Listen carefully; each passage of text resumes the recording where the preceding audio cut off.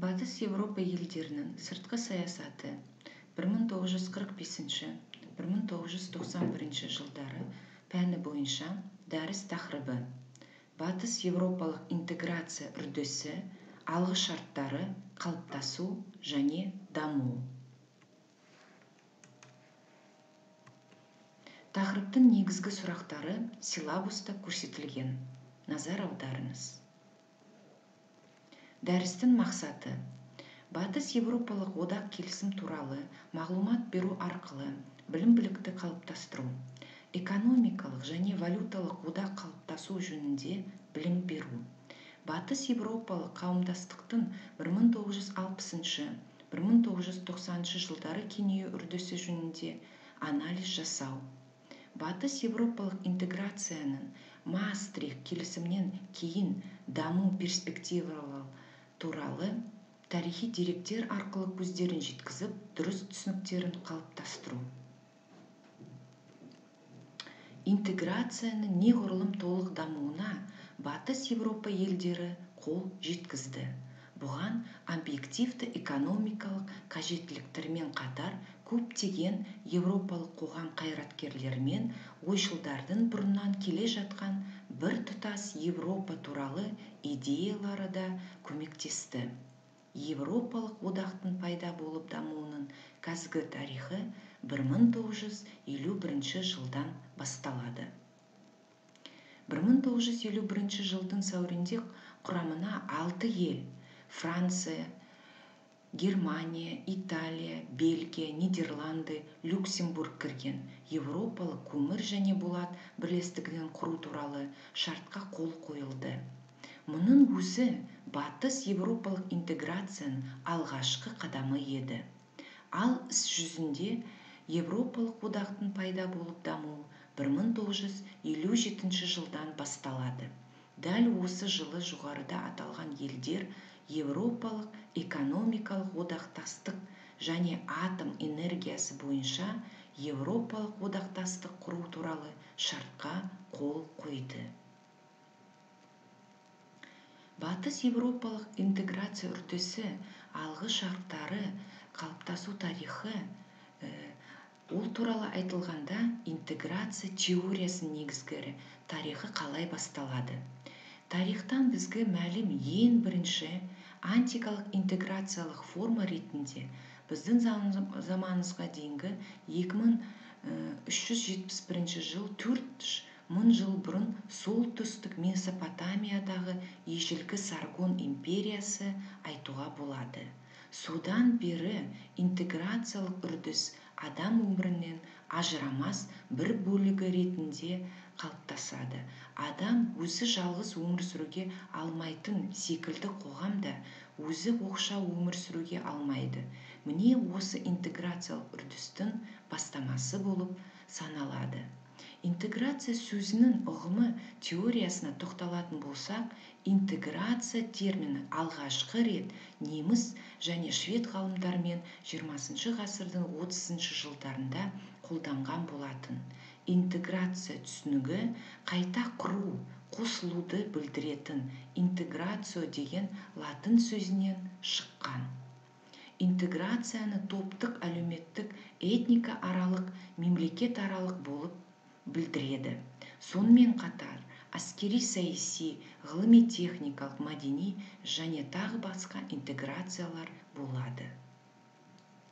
Интеграция мәселесіне байланысты ғалым барановский былай деп түсінік береді. Бөлек ерекше бөлшектердің біртұтастықпен байланысты жағдайы және осы процеске әкелетін жағдай деп есептеді құрметті студенттер осы слайдта ғалым барановскийдің бейнесі көрсетілген. Назар аударыңыз. Интеграциялық үрдістің саяси жақтарын зерттеу түрлі мемлекеттерге болатын ішкі және сыртқы саяси үрдістермен тығыз байланысты деп бізді қызықтырып отырған мәселе мемлекет аралық интеграциямен байланысты және халықаралық қатынастар мәселесінің шеңберіне кіреді. Мемлекет аралық интеграция мемлекеттердің арасындағы интеграциялық үрдістің саяси проблематикасымен байланысты мәселелерінің жай жапсырын көрсету үшін зерттеуші ғалымдар саяси интеграция деген ұғым туралы айта бастады. Көп зерттеуші ғалымдар саяси интеграция ұғыммен толық анықтамасын берген америкалық политолог хаас деп санайды. Құрметті студенттер осы слайдта америкалық политолог хаастың бейнесі көрсетілген. Назар аударыңыз. Интеграция ұғымын жүйелі функционализмнің негізін салушы парсонның ұсынысы бойынша екі негізгі компонентті қамтиды. Біріншіден интеграция элементтерін ішкі сыйымдылығы. Екіншіден интеграциялық жүйенің сыртқы ортадан оқшау тұратын специфиялық жағдайын қамтамасыз ету және сақтау.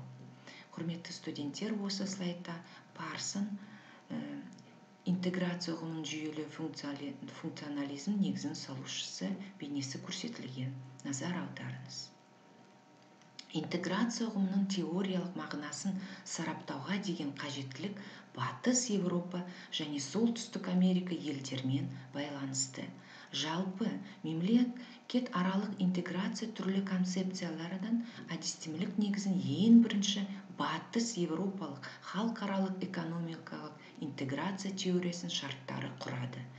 Ең бірінші аймақтық интеграция үрдісін теориялық тұрғыдан түсіндіруге тырысқандар 1950 жылғы неолибералистердің ағымында жұмыс істеген ғалымдар болды. Олар придоль репке рынок концепциясына сүйене отырып осы ғалымдар бірнеше мемлекеттерді құрамына енгізетін бір тұтас геоэкономикалық кеңістіктің құрылуы деді. Кедендік одақ 1957 жылы құрылған еуропалық экономикалық қауымдастықтың теориялық концепциясы болды. 1960 жылы интеграция формасына деген әдістердің қайта қаралуы болды. Осыған байланысты ғалымдар арасында интеграциялық жүйенің шеңберін кеңейтуге деген қажеттілік туылды. Кейбір зерттеушілер жаңа бағытын шартты түрде дирижистік деп атады. Дәл осы кезде американ ғалымы белаши интеграцияның жүйелі бес түрін атап көрсетеді. Олар еркін сауда аймағы мүше мемлекеттер арасында мөлшерлік және сандық шектеулер алынған. Кедендік одақ жоғарыладан басқа үшінші елдермен саудаға ортақ өлшем енгізілген. Ортақ нарық саудаға шек қоюларымен қатар өндірістік факторлардың шек қоюлар алынып тасталынады. Экономикалық одақ тауар мен өндірістік факторлардың қозғалу еркіндігі дискриминациясын жою үшін жасаланатын ұлттық саясат белгілі түрде сәйкестендірілумен толықтырылады. Саяси одақ толық экономикалық интеграция ұлттық экономикалық саясат толықтай жүйеленеді және ұлттық шеңберлерден шыққан билік мекемелер құрылады деген. Швед ғалымы мюрдальдың айтуы бойынша рыноктың көзқарасты ұсынатын теориялық жағдайдағы концепциялар кедей және бай елдердің дамуын бірдей қылуды көздейді. Іс жүзінде поляризация одан әрі күрделене түспек. Құрметті студенттер осы слайдта швед ғалымы мюрдальдың бейнесі көрсетілген. Назар аударыңыз. Әлемдік интеграциялық үрдістің даму динамикасы интеграция теориясының дирижистік бағытының 1966 жылы 70 жылдарда күшеюіне жол ашты. Бұл бағыттың көрнекті өкілдері купер мюрдаль стриптен тринберг филипп қарастырады. Дойч интеграциясының ең басты қозғаушы күші деп ұлттық мемлекет емес сонымен қатар партиялық жүйелер қысым жасау топтары және басқа ішкі саяси аренадағы акторлықты жатады деп ойлайды. Ғалым дойч оның пікірі бойынша мемлекеттердің ішкі интеграциялау қауіпсіздік қоғамдастығына қол жеткізгені ғана болады деген осындай ой пікірін келтіреді. Оның нәтижесінде жету үшін интеграция барысында дойч интеграцияланушы бірлестіктер арасында коммуникациялық құралдар арасында бір біріне бағынышылықтық керек дейді. Құрметті студенттер осы слайдта ғалым дойчтың бейнесі көрсетілген. Назар аударыңыз. Интеграция бұл білгелі бір жүйенің қозғалысы және даму үрдісі. Мұнда қатысушылардың саны және өзара қатынасы күшейе түседі. Бір біріне қатынасында өзіндік кішіреді ал дезинтеграция болса интеграцияға қарама қарсы яғни қатысушылар саны аязаяды. Өзара қарым қатынас әлсірейді. Тарау құлдырау жойылу бөліну оқшалану үрдісі дейді. Интеграция әр уақытта дезинтеграция үрдісімен байланысты. Бұл оның алғышарты немесе салдарына болуы мүмкін. Құрметті студенттер еуропалық одақ 1993 жылы тарихы басталады. Назар аударыңыз. Жаңа стратегиялық ынтымақтастығы жүзеге асыру нәтижесінде экономикалық және валюталық одақ құрылған болатын. 1990 жылдың шілдесімен 1992 жылдың желтоқсанына бұл кезеңнің негізгі ерекшеліктері ретінде одақ ішіндегі капитал қозғалысының либерализациялану біртұтас ішкі нарықты құрудың аяқталу және одақ мүшелерінің макроэкономикалық көрсеткіштері бойынша біршама жақындау. 1994 жылдың қаңтары мен 1996 жылдары еуропалық валюталық институт құрылған болатын. Одаққа мүше мемлекеттер жаңа валюта евроны енгізу жұмыстарын бастайды. Маастрик шарты еуропалық қоғамдастықтың экономикалық валюталық және саяси одаққа айналуын көздейтін құжат. 1992 жылы 7 ақпанда маастрик қаласында қол қойылған. Маастрик келісім евроның бірыңғай валютасын енгізу рәсімін анықтады. Құжат банкноттар эмиссиясын санкциялауға айрықша құқығы бар еуропалық орталық банкті құруды көздеді. Маастрик шарты евроодаққа мүше елдердің азаматтары үшін бірыңғай еуропалық азаматтығын енгізді. Оларға евроодақтың кез келген елінде еркін тұру муниципальды сайлауға және тұрғылықты жері бойынша еуропалық парламент сайлауына қатысуға құқығын берді. Маастрих шарты евроодақтың конституциясын әзірлеуді және қабылдауды қарастырады. Евроодақ одаққа 27 мемлекет кіреді.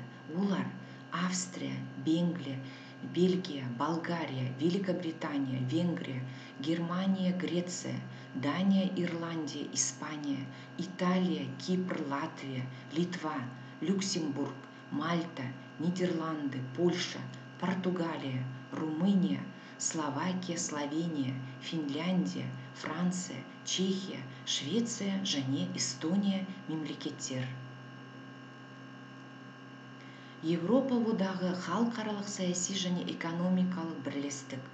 Еуропа одағы аясында интеграциялық ынтымақтастың басты мақсаттары. Бірегей еуропалық актіде 1987 жылы маастрих келісім шартында 1900 1992 жылы және амстердам келісімінде 1997 жылы көрсетіліп айқындалған.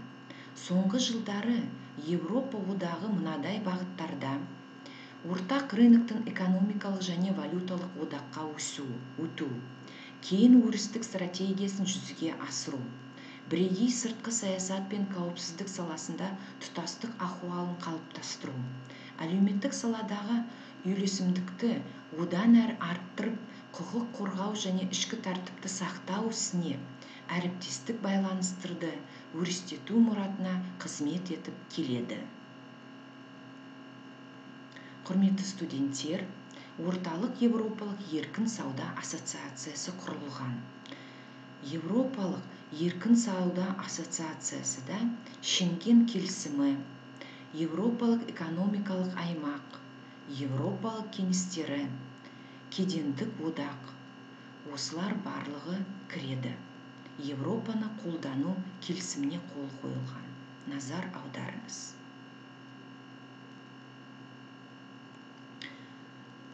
Еуропалық одағының ортақ әлеуметтік саясатын жүргізуде жеке адамның әлеуметтік құқықтарына арналған бірнеше құжаттар аса маңызды. Бұл деген еуропалық әлеуметтік хартия. 1961 жылы еуропа кеңесінің қамқорлығымен қол қойылып 1996 жылында қайта қаралған. 1989 жылы еңбекшілердің негізгі әлеуметтік құқықтары туралы қауымдастық хартиясы қабылданған. Маастрихт келісімінен кейін ықпалдасудың жаңа айналымына өткен евроодақ елдері әлеуметтік саладағы институттардың өкілеттігін кеңейту қажеттігі туралы қарастырылады.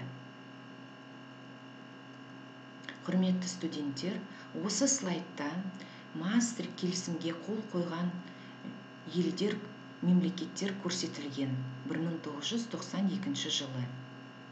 Назар аударыңыз.